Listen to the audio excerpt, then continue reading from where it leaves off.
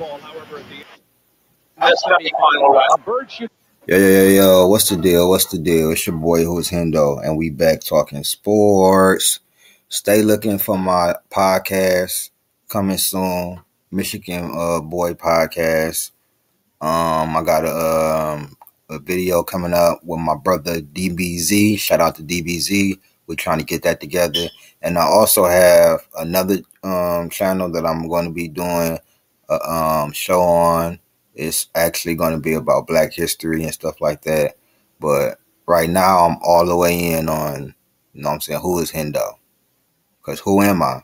I'm nobody. I'm just a I'm just a 30 year old dude that's talking basketball that always loved basketball. Actually wanted to be a basketball player, but because of me having epilepsy and cerebral palsy and everything, it didn't happen. And because I didn't grow up big enough, but I always loved sports, always loved basketball, been my favorite sport forever.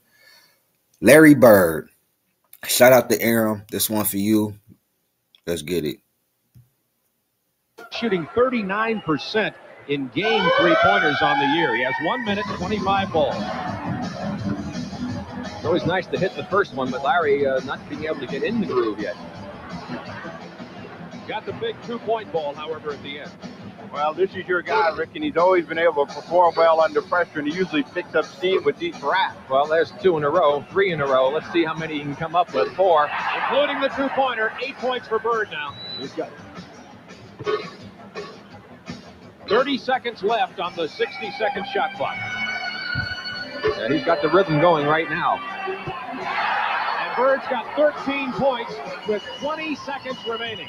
Now, he's not getting to the rack too quickly, but he's able to get a lot of shots out of him very fast. That's because of the groove he gets in. That set shot, he doesn't waste a lot of effort. 18 points for Bird, eight seconds left. 19 and counting, make it 20. And he gets the two-pointer. Unofficially, 23 points for Larry. Killer. Bad boy, bro. And the thing is, he was what? Bird was what, 6'9, 6'10? And his shot, his shot was so kind of tough to, to block, bro. He's shooting from back here. My brother, shout out to my big brother Ronald. He shoots like that, bro. He used to shoot kind of like this. And like it's hard, especially when they been there. When you tall too, Larry Bird about 6'9, 6'10. And so he and he not even really jumping for real, but he got probably long arms, so he already shooting at a seven foot apex. Larry Bird was a man, he was a man. Listen, he had that dog in him. He had that demon in him for real. If it's one person that I know that Michael Jordan can't talk shit to, is Larry Bird. Cause he never even though it was unfair, he had terrible crackhead teammates and shit. And he basically that was basically carrying a team.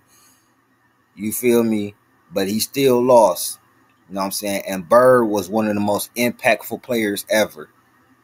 Rookie year coming in, they go from 20 some wins to 50, 60 some wins. Larry Bird was one of the most underrated players too. I think Larry Bird, Dwyane Wade, Tim Duncan, and I'm gonna add Kobe to that list now. Ten years ago, I probably wouldn't have said Kobe was underrated. I'd have been like, I think he, I think people. That's when people really started, you know what I'm saying, kind of really shitting on Kobe. But now, yes, he's definitely underrated. But Larry Bird, highest scoring three point shootout he was balling on that boy, man. Y'all let me know what y'all think, man. Y'all put in the comments where do y'all have Larry Bird? I have Larry Bird tied fifth all time with LeBron James. I think I'm waiting till LeBron actually retire to really rank LeBron. You feel me? He has went from I'm gonna be real. I had LeBron number ten before 2016. After 2016, he moved up to number five. I ain't gonna lie. I moved him all the way up. That number 2016 one, that moved him all the way up for me because I'm gonna be real. I had LeBron 10th before 2016. Then 2020, I moved him to fourth. But then I thought about Duncan, how I was disrespecting him and revisited his career for a whole three months straight. And now I have LeBron James fifth with Larry Bird. Larry Bird, I've always had Larry Bird in my top 10, but I had him nine, then I had him eight, then nine again. But now I didn't put Larry Bird as high as five. Just because uh he was so much more clutch than I thought he was. He was I had the the, the notion of Larry Bird was a three-point shooter. Larry Bird could Larry Bird could score, could score really well. He was one of the best scorers and one of the best shooters, just period. But no, Larry Bird was a phenomenal ass passer, a good defender, a phenomenal ass rebounder, and one of the one of the coldest trash talkers in history, bro. So I I underestimated Larry Bird. So I definitely have Larry Bird top five now. So y'all let me know what y'all think, man. This has been Who is Hendough. I'm out. Peace.